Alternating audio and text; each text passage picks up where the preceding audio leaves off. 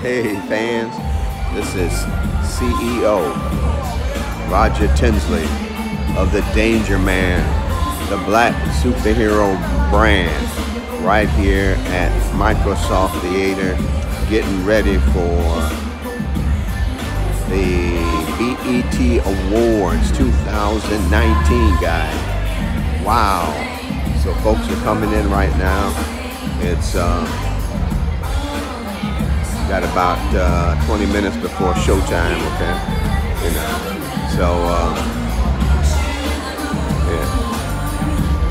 Yeah, so people are coming in, we're gonna be jamming. I probably won't be able to get back to you until at the end of the show because they don't want any filming in here during the show, so wanna respect that. But anyway, this is your boy Danger Man, Roger Tinsley, CEO. Um, and uh, living the dream, living the dream. Get ready for the release of our new film, Danger Man Returns, a real crime thriller coming soon. Okay, peace.